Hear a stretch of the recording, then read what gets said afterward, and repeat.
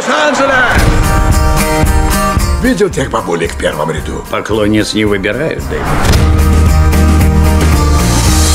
Сюрприз! О, нет! В моем возрасте такие сюрпризы чреваты сердечным приступом. Помнишь интервью, которое ты дал в детстве для одного журнала? Ты пишешь как Леннон. Джон Леннон прочитал его и написал тебе письмо в 1971-м. Понимаешь, что это значит?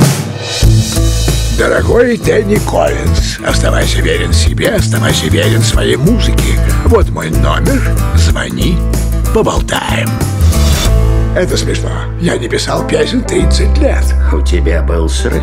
Я прогнил, ничего не выйдет. Что изменилось бы, попади мне это письмо вовремя? Хочу отменить оставшиеся концерты.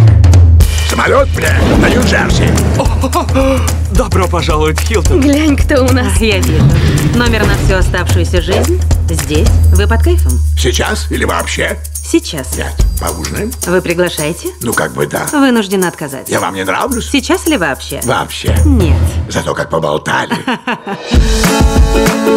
Почему Нью-Джерси? Хочу кое с кем познакомиться. Как я вам? Ну, как-то нелепо. Нет. Увидимся в семь. Ну уж нет. А что ты хотела от первой встречи со взрослым сыном? Привет! Привет. Зачем ты пришел? Чтобы изменить свою жизнь, дорогая. Скоро придет мой муж, и это будет наша последняя встреча. Понимаю твои претензии. Нечего тут понимать, ясно? Был рад знакомству. Удачи. Сыном будет нелегко, но сдаваться нельзя. Согласен. Поужинаем? Пока ты Я давно не писал песен. волнуешься. Да. Просто прекрасно. Всю свою жизнь я пытаюсь быть не таким, как ты.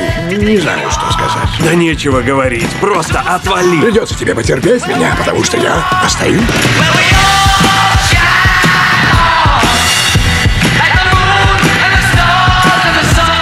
Прощения не купишь. Поужинаем? Знаешь, мне нравится твое упорство. Иногда и за ужин стоит побороться.